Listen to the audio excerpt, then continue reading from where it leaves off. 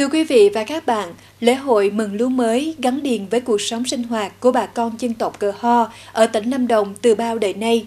Lễ hội thường được tổ chức hàng năm sau mùa thu hoạch, cầu mong thần lúa ban cho mọi người, mọi gia đình có cái ăn, cái mặc, ngày càng có cuộc sống sung túc, ấm no và hạnh phúc hơn. Nét độc đáo trong lễ hội mừng lúa mới của người Cờ Ho đã được nhóm phóng viên chúng tôi ghi lại tại thị trấn Đinh Văn, huyện Lâm Hà. Hàng năm, dân tộc Cờ Ho thường tổ chức lễ hội mừng lúa mới khi mùa màng đã thu hoạch xong. Lễ hội này bận rộn nhất là thời gian mang lúa về kho, cướp trong bồ. Trước khi gặt lúa, chủ nhà thông báo cho mọi gia đình họ hàng trong buôn làng. Năm nay, gia đình chúng tôi thu hoạch lúa trên 10 cùi to, lúa đầy bồ, thóc đầy kho. Gia đình sẽ tổ chức ăn mừng và mời buôn làng cùng chung vui. Chủ nhà sẽ dâng hiến con heo, con gà để ăn mừng. Vụ này được mùa bội thu nên gia đình phải gọi thêm họ hàng giúp công việc gặt hái cho kịp. Đến ngày hẹn, việc thu hoạch lúa cũng đã xong. Gia đình chính thức mời mọi người trong làng đến cùng ăn, cùng uống, vui mừng một năm thu hoạch được nhiều lúa gạo. Lễ hội mừng lúa mới là lễ hội mong muốn gia đình được ấm no. thân lúa đã phù hộ chúng ta sản xuất được mùa bội thu. Mọi khó khăn vất vả đều vượt qua. Một năm được ấm no, đủ đầy. Mừng lúa mới, cầu khấn thần linh, mong thần linh tiếp tục phù hộ. Mong vụ mùa năm sau, gia đình sẽ làm ăn phát đạt hơn. Người cờ ho quan niệm lễ hội mừng lúa mới là dịp để bà con trong làng được cầu khấn thần lúa, phù hộ cho cuộc sống buôn làng ngày càng được no ấm và bình yên. Vật tế lễ thần lúa thường là con gà, con heo và rượu cần. Các gia đình khó khăn thì hiến tế bằng con gà. Gia đình có điều kiện hơn thì cúng bằng con heo.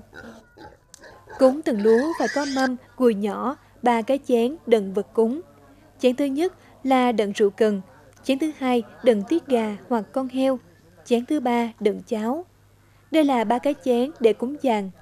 Cây nêu gia đình cũng phải dựng, năm nào thu hoạch được nhiều lúa, gia đình sẽ tổ chức lễ lớn, mời cả buôn làng ăn mừng và sẽ dựng cây nêu, vật tế thần phải là con heo, con gà. Sau khi chuẩn bị đầy đủ các lễ vật, ông chủ lễ hoặc chủ nhà thực hiện các nghi lễ mừng lúa mới tại kho thóc của gia đình. Cha làng ca bác cầu khấn thần lúa như thế này. Ơ thần lúa, mong thần lúa về đây chung vui cùng gia đình. Hôm nay, gia đình chúng tôi tổ chức lễ hội mừng lúa mới. Mong thần lúa phù hộ độ trì, ban cho gia đình luôn ấm no. Lúa ăn không hết, có của ăn của để. Gia đình mời tất cả các thần linh cùng với thần lúa, hãy cho chúng tôi luôn khỏe mạnh, làm ăn phát đạt hơn trong vụ mùa tới. Lễ hội này là lễ hội đã có từ thời xa xưa, là truyền thống dân tộc do ông bà tổ tiên để lại. Đến thời của tôi, tôi cũng truyền lại văn hóa truyền thống. Lễ hội mừng lúa cho con cháu thế hệ sau để họ tiếp tục giữ gìn và phát huy lễ hội truyền thống của buôn làng mình. Ngày nay, bà con dân tộc Cờ Ho đã có sự giao lưu cùng các dân tộc khác để cùng nhau phát triển, xây dựng cuộc sống mới. Lễ hội Nho Rơ He không còn được nhiều người biết đến, nhất là tầng lớp trẻ, và đang đứng trước nguy cơ bị mai một.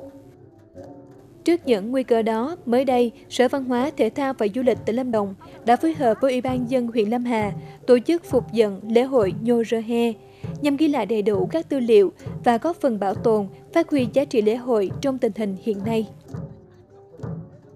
Tỉnh Lâm Đồng chúng ta được à, sự quan tâm của Bộ à, cho phép phục dựng một trong những cái à, lễ hội văn hóa à, truyền thống bản địa các dân tộc thiểu số trên địa bàn tỉnh thì Lâm Đồng à, ừ, Sở Văn hóa Thể thao Du lịch Lâm Đồng chúng tôi chọn à, cái à, lễ mừng lúa mới của đồng bào dân tộc Cơ Ho huyện Lâm Hà để đưa vào cái phục dựng cái mục đích của cái chương trình này là à, phục dựng những cái lễ hội của đồng bào à, dân tộc thiểu số à, có nguy cơ bị mai một đồng thời cũng tạo một cái môi trường à, văn hóa lành mạnh và à, nâng cao cái đời sống à, tinh thần cho đồng bào người à, dân tộc thiểu số. Thế hệ trẻ của chúng em hiện nay không biết về phong tục tập quán truyền thống ông bà ngày xưa. Qua lễ hội được phục dựng, mang lúa về kho, chúng em được biết thêm về lễ hội truyền thống của dân tộc. Hiện nay, ngày càng phát triển hơn.